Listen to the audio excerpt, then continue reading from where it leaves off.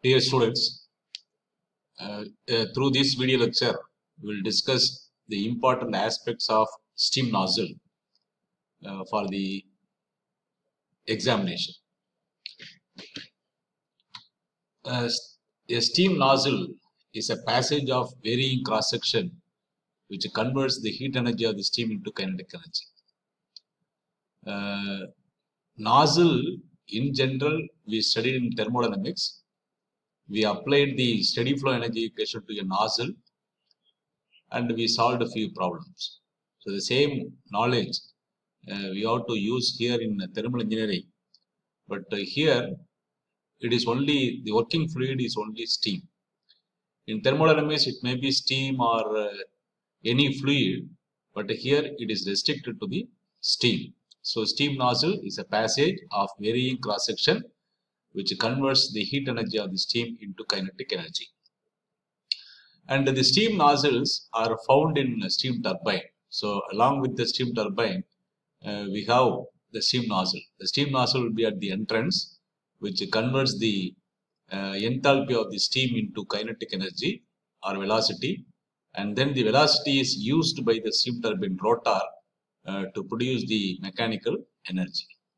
So the steam nozzle and steam turbine will go together uh, to produce the heat power, heat energy of the steam into mechanical energy.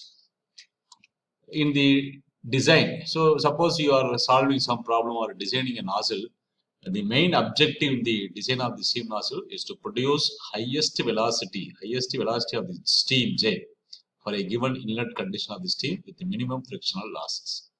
Uh, there are two objectives you have to remember. One is the velocity should be higher, highest at the outlet of the nozzle and the frictional losses in the steam nozzle should be minimum. And these are all the types of uh, different types of the nozzle. Uh, one is convergent nozzle, divergent nozzle and convergent divergent nozzle. Uh, it is only uh, the shape of the nozzle, you look at the convergent nozzle, it is the area is gradually decreasing. You look at the divergent nozzle, the area is gradually increasing. And you look at the convergent divergent nozzle, the area is initially decreasing and it takes a minimum area at the throat section and then it is increasing. Uh, depending on the outlet velocity required, you have to select the convergent nozzle or divergent, uh, convergent divergent nozzle. So divergent nozzle is not, uh, we are not using it. Uh, if the flow velocity at the outlet is subsonic condition, then we have to use the convergent nozzle. When the flow condition, flow velocity at the outlet of the nozzle is supersonic velocity, then we have to use the convergent divergent nozzle. Uh, the continuity equation for the nozzle.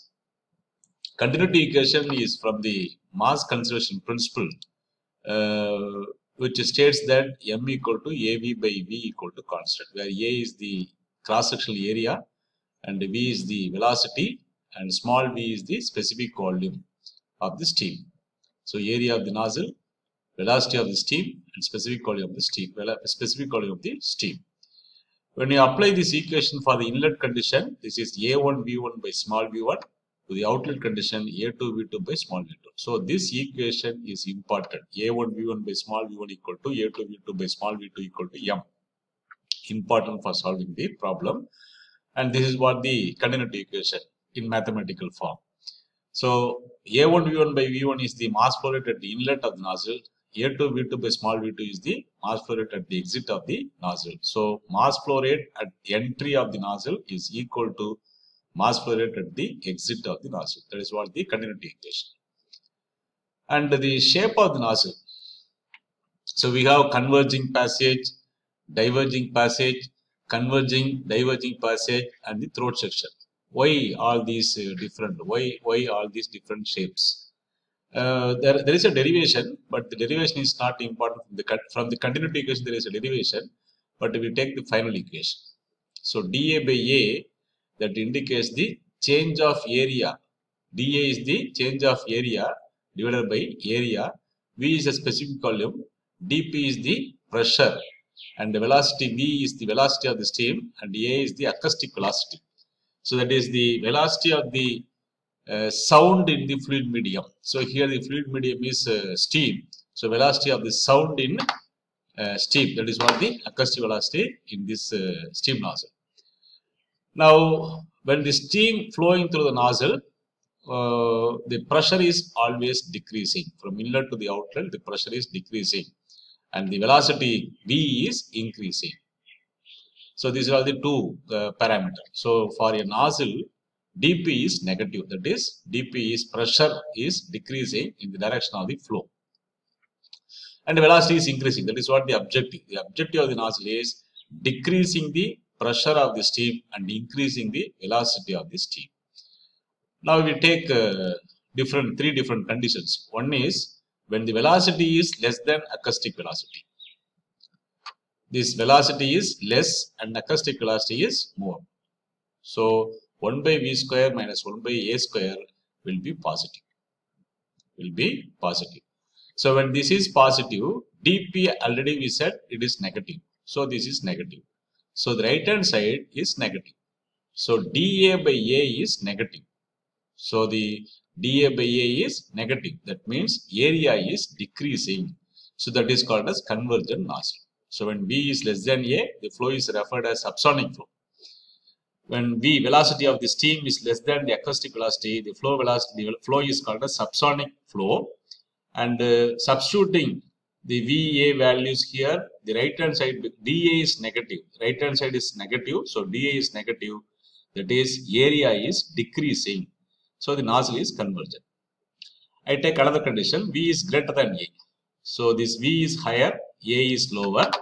Now this is 1, minus 1 by higher value minus 1 by lower value, this becomes negative this becomes negative. negative 1 by higher value minus 1 by lower value this becomes negative already dp is negative and negative into negative becomes positive so da is positive when d when v is greater than a the flow is supersonic and da is positive the nozzle is divergent nozzle so the when v is less than a it is a convergent nozzle when v is greater than a then it is a divergent nozzle when V equal to A, the flow is referred as sonic flow.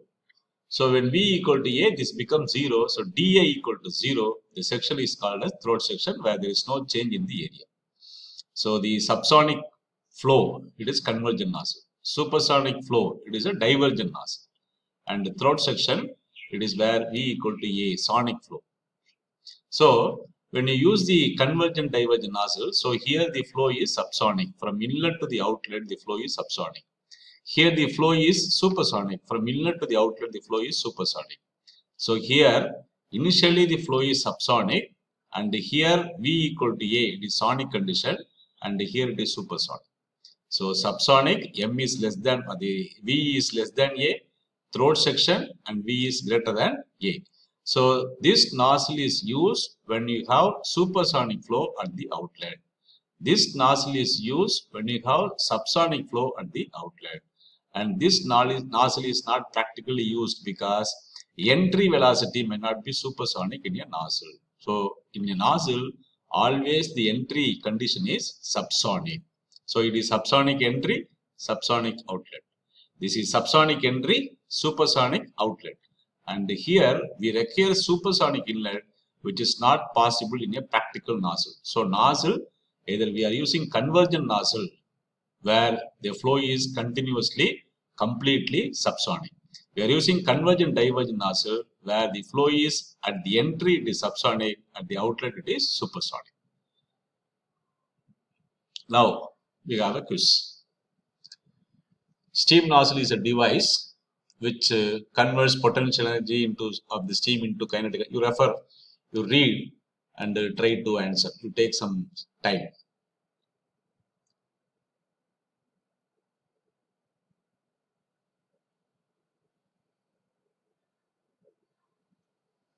And if your answer is B, you are correct convert the heat energy of the steam into kinetic energy. That is what the steam nozzle. Steam nozzle is a device which converts the heat energy of the steam into kinetic energy. Second question. you read and answer.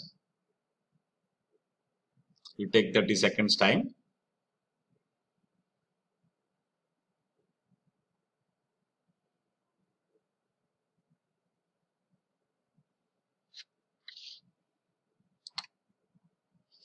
If your answer is A, pressure decreases and velocity increases in the direction of the flow. Steam nozzle uh, in which the pressure decreases and velocity increases in the direction of the flow. If your answer is A, you are correct. You take this question, read and write your answer in your notebook. You take 30 seconds time.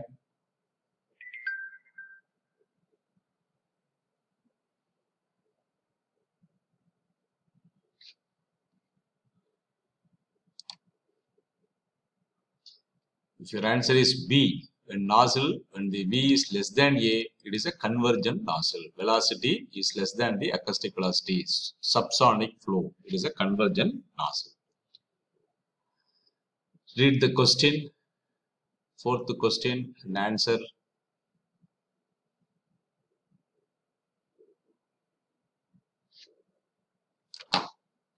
So if your answer is A, V is greater than A, the flow is, nozzle is divergent nozzle your answer is correct. If A, if you have chosen A, you are correct. Okay, now we go to the next topic.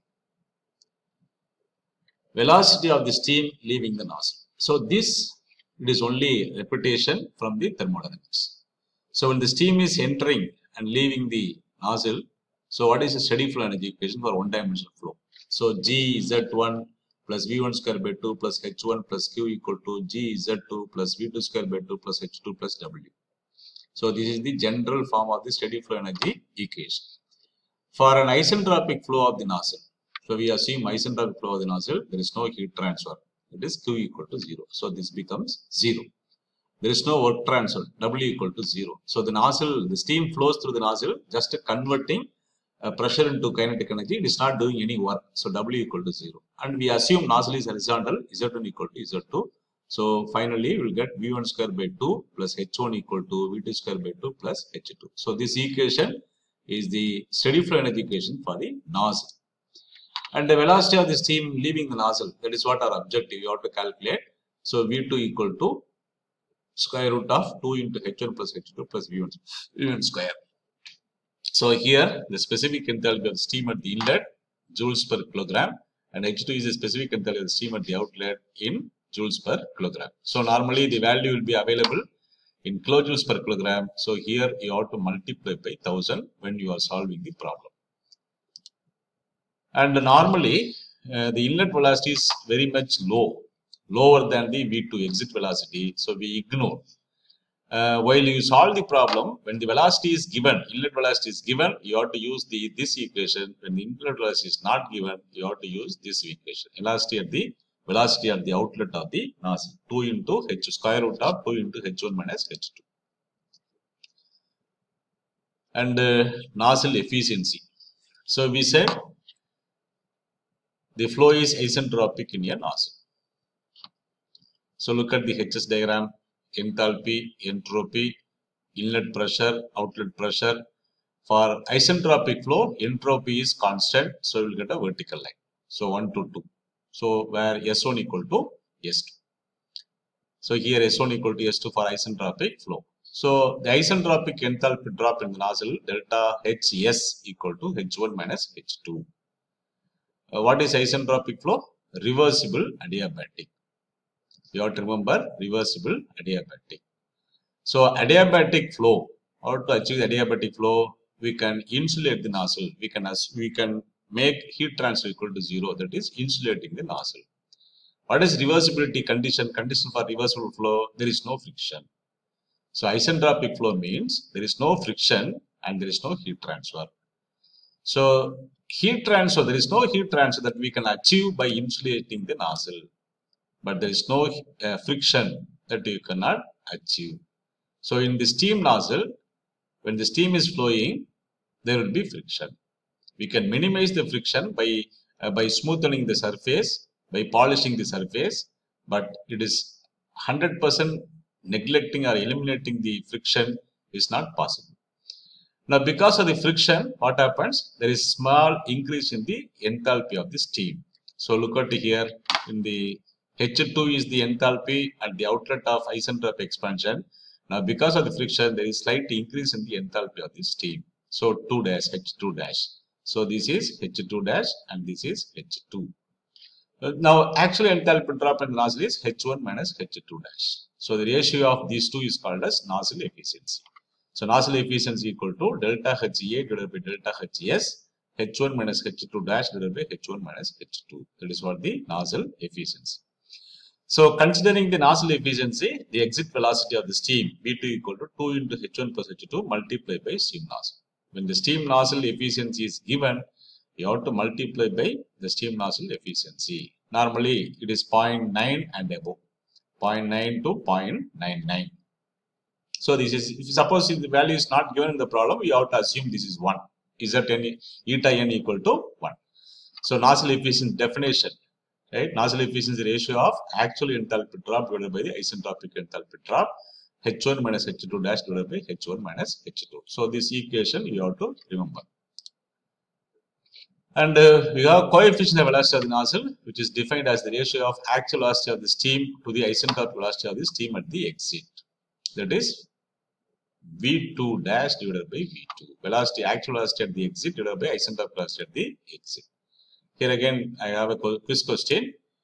You read and answer.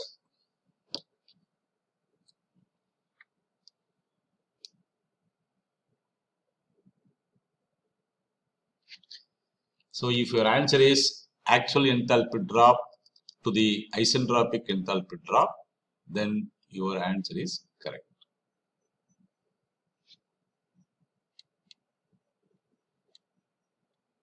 Okay.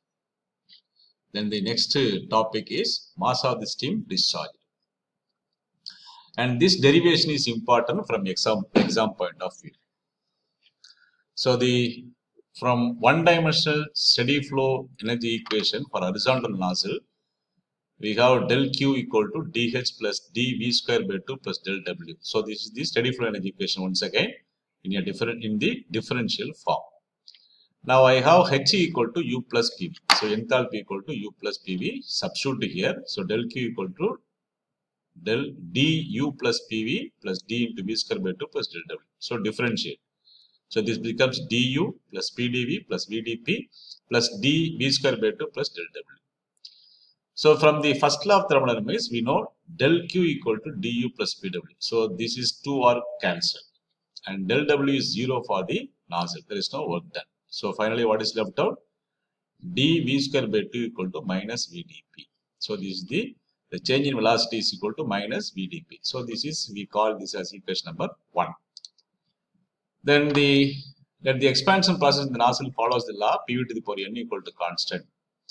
So, so integrate this equation and within the limit inlet and the exit of the nozzle we get v2 square by v1 square equal to minus of n by n minus 1 p1 minus p2 v2. So this integrate, you have to integrate this equation and within the limit of inlet and the exit of the inlet and the uh, outlet of the nozzle. So this is what the another equation.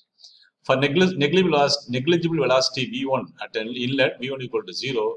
So v2 equal to 2n by n minus 1 p1 u1 minus p2 v2. So this mathematically we modify 2n by n minus 1 p1 v1.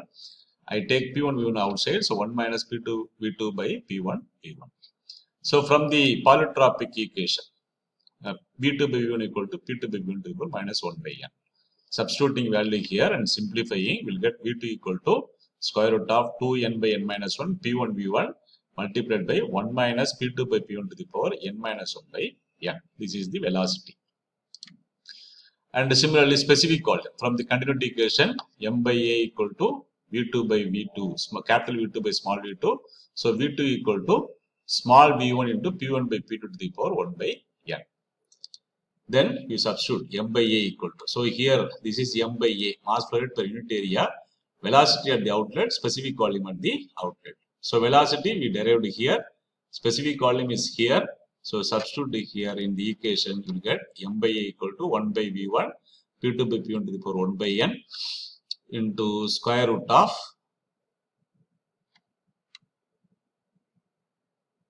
and this becomes P2 by P1 to the power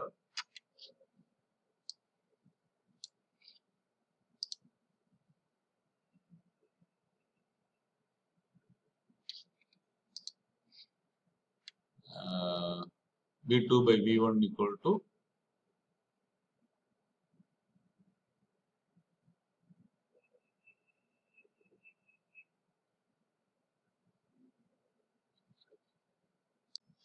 So substituting m by a equal to 1 by small v1 p2 by p1 to the power 1 by n square root of 2n by n minus 1 p1 v1 into 1 minus p2 by p1 to the power n minus 1 by n.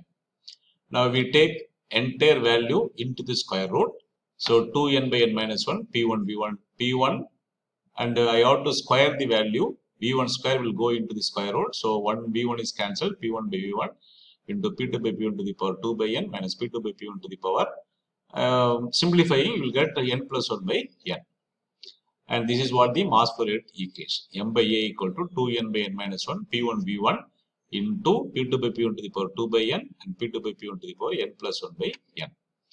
We want to maximize the mass flow rate. So for maximum mass flow rate, the mass flow rate will be maximum when this value is higher. You look at the equation on the right hand side, n is a constant, p1 is the inlet pressure which is a constant, V1 is a specific volume which is also constant and P2 is the only variable. So P2 by P1 is the pressure ratio of the nozzle, outlet pressure divided by the inlet pressure.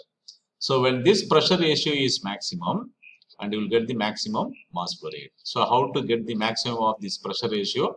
So maximum mass flow rate is the flow mass flow rate is maximum if this value is maximum. How to get the value? I take x equal to P2 by P1 and this equation it is written as y equal to x to the power 2 by n, x to the power n plus 1 by n. And we have to differentiate this equation with respect to x and equal to 0.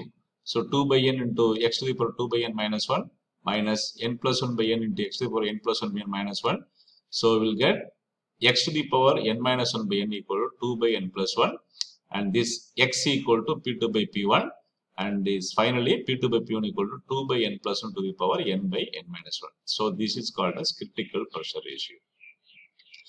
So for if this pressure ratio is equal to 2 by n plus 1 to the power n by n minus 1, the mass flow rate will be maximum. So this is called as critical pressure ratio and this critical pressure ratio equation is used to calculate the critical pressure that is the throat pressure P2 is the throat pressure in a convergent divergent nozzle. So this equation you have to remember.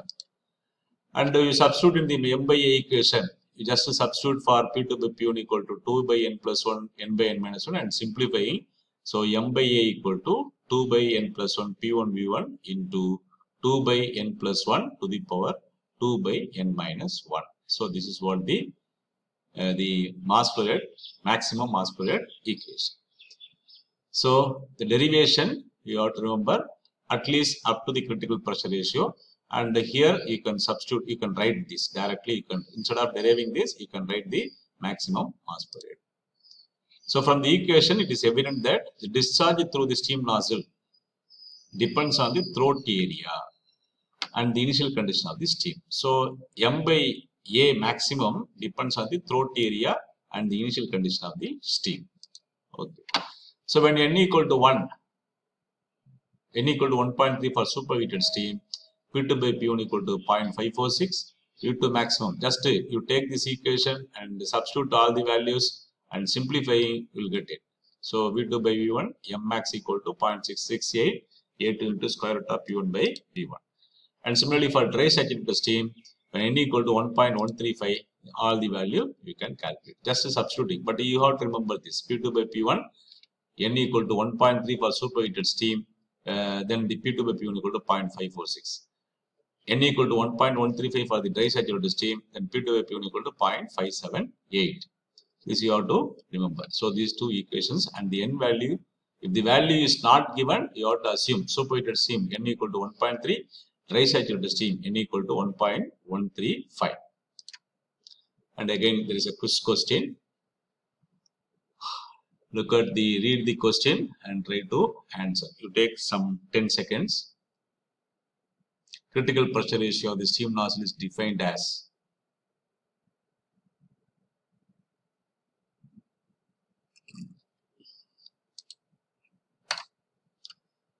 So if you selected the answer D, the ratio of outlet pressure to the inlet pressure only when the mass flow rate per unit area is maximum. When you selected this answer, you are correct. And you, for the second question, P2 by P1, the right answer is P2 by P1 equal to 2n by 2 by n plus 1 to the power n by n minus 1. Answer is B. And for superheated steam, so superheated steam n equal to 1.3, you substitute here and find the answer. So if your answer is 0.5457, you are correct. Then the last concept, supersaturated flow in the steam nozzle. Uh, look at the HS diagram. I have enthalpy, entropy, pressure P1, pressure P2, pressure P3, pressure P4, and you got the steam saturation line. So what is the saturation line? On this line, the steam is dry and saturated. Above the line, the steam is superheated. Below the line, the steam is steam. So the saturation line you may find in your Mollier diagram available along with the steam table a dark line, black color line, that is what called the saturation line. So above the saturation line, superheated steam, below the saturation line, it is wet steam. And for isentropic flow, I will get a vertical line. What is a vertical line indicates initially 0.1 superheated steam, the enthalpy decreases, here it becomes dry saturated steam and it becomes wet steam and continuous wet steam, 0.3 and 0.4, they are wet steam.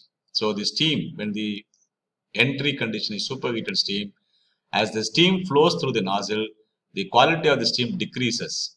The uh, initially superheated steam expanded, it becomes dry saturated steam, and further expanded, it becomes wet steam, and continuous wet steam leaves as wet steam. Now, the problem. So, what is happening? The steam flows, superheated steam, dry saturated steam, then in this transition, in this uh, quality decrease, the velocity of the steam is also increasing. You have to consider that. When the velocity increases in the nozzle, right?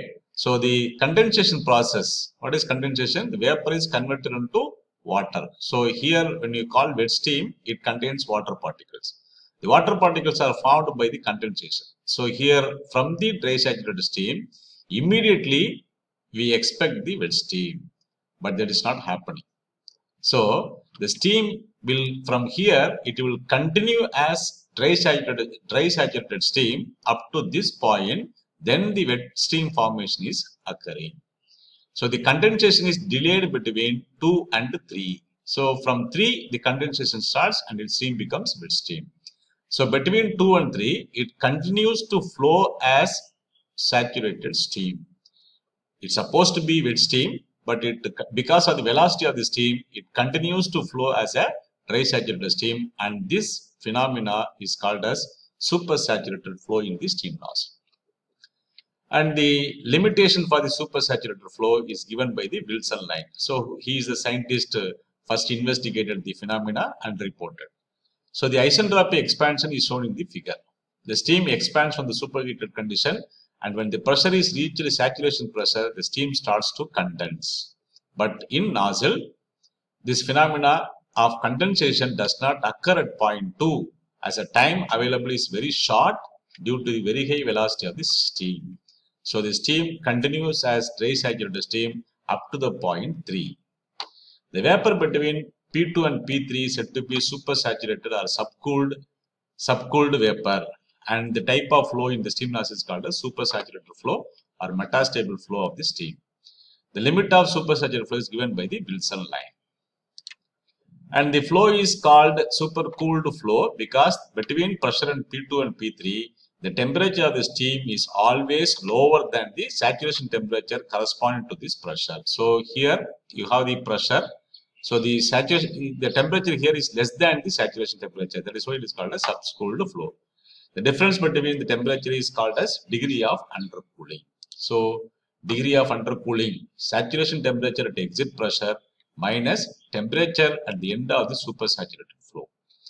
Degree of supersaturation, exit pressure divided by the saturation pressure at exit temperature of the supersaturated flow. And to solve the problem in the supersaturated flow, the various equations are all the equations from the isentropic polytropic flow equation. H2 minus H1 minus H2 equal to n by n minus 1 P1 V1 into 1 minus P2 by P1 to the power n minus 1 by n. So when the flow, when you are solving a problem on the supersaturated flow, you, never, you do not use the steam table for solving the flow. Using the equation, you solve the flow equation. Velocity of the steam V2 equal to square root of 2n by n minus 1 P1 V1 into 1 minus P2 by P1 to the power n minus 1 by n. Specific volume V2 equal to V1 into P2 by P1 to the power 1 by n. And uh, apparent temperature T2 equal to T1 into P2 by P1 to the power n minus 1 by n. And exit area is A2 equal to M into V2 by V2. M into uh, small v2 specific divided by the capital V2 velocity of the steam. And what are the effect of supersaturation? The supersaturation increases the entropy, entropy and the specific volume of the steam. The supersaturation increases the dryness fraction of the steam. The supersaturation reduces the heat drop below that, that for thermal equilibrium which causes decrease in exit velocity. Or you can remember the supersaturation reduces the heat drop, enthalpy drop and the supersaturation reduces the exit velocity. Since the condensation does not occur during the supersaturated expansion, the temperature at the supersaturation occurs will, will be less than the saturation temperature corresponding. So the temperature is also decreasing in the supersaturated flow. So the entropy increases, specific volume increases, dryness fraction increases, velocity decreases, enthalpy decreases, and the temperature is also decreased. That is what the effect of supersaturation in the nozzle. So sometimes they may ask a theory question, explain the metastable flow in the steam nozzle. So in that case, you have to write, draw the diagram, you have to explain completely super up to the Wilson line. And uh, just you take the first paragraph and the second paragraph. That is enough. And you have to write these conditions. What are the effect of the supersaturation? So this you have to write. And the equations are not required in the theory part. Now we have a question. You take the limit of supersaturated flow. What is the limit of supersaturated flow is given by what line? Which line you read and write the select the answer if your answer is Wilson line, you are correct. Second question, in the region of the supersaturated flow, the steam is considered as If your answer is dry saturated steam, you are correct. Thank you. So actually, uh, dear students, I want to say something uh, why I prepared the video lecture. Uh, you have to listen. Repeatedly you have to listen to the video whenever you are free and take a note of it. Note down the important parameters and uh, uh, because you, you, can remember for a longer time till the examination when you, only when you are repeatedly hearing this lecture. So i made this lecture for 30 minutes. The important aspect theoretical aspect of this steam nozzle so you prepare well and uh, try to pass in the examination. All the best.